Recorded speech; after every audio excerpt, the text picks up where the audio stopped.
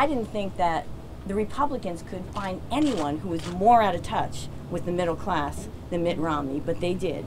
They found Chris Christie. Barbara Buono was in the backyard of Democratic Assemblyman Ralph Caputo in Nutley, the town she grew up in, to draw attention to her economic plan. You grow an economy by focusing on the middle class, she said, and by investing more in high school and college students. They may get straight A's while they're in college, but they graduate with three D's a degree, debt, and disappointment. And the disappointment is that there's no jobs to pay off those loans when they graduate. Buono's 40 point plan would hike the minimum wage, redirect tax credits away from large corporations and toward small businesses, require all employers to provide paid sick days for their workers, and foster research partnerships between universities and corporations. The Roche Corporation is leaving Nutley, she maintained, for lack of such a partner in New Jersey. You know, Roche went to San Francisco and the Lower East Side of Manhattan, Massachusetts. All those states have in common are strong research partnerships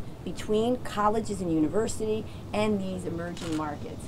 And how do they do that? They create partnerships. I had a piece of legislation in over a year ago. The governor vetoed it and called it, along with a with a, a bunch of other bills that would have stimulated the economy. He called it a pile of crap, quote unquote. She said high tech jobs are averaging $86,000 a year, while Christie just oversees creation of lower wage jobs.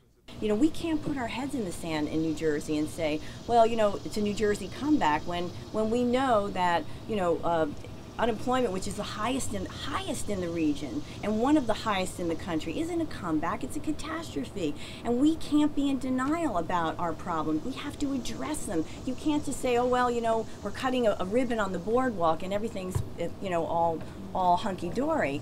Christie was asked today about the Buono plan. In my quick glance over it, um, it's a return to the Corzine years when she was in charge before. Higher taxes, higher spending, bigger government.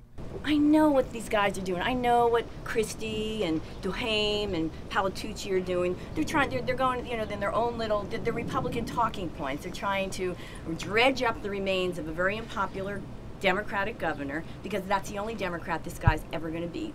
I think she was tremendous. Um, you know, and I think the more people see her, interact with her, they like her. The crowd here wasn't large in Assemblyman Caputo's backyard, but what this event lacked in people, it made up for in passion as Barbara Buono's quest to unseat a hugely popular governor grinds on.